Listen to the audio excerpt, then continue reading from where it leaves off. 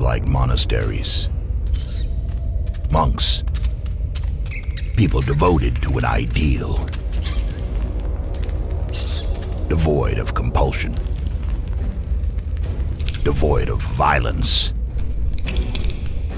I guess I liked it because I never understood it. They say you can't really change without confronting the past.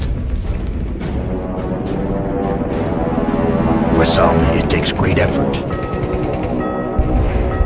For me,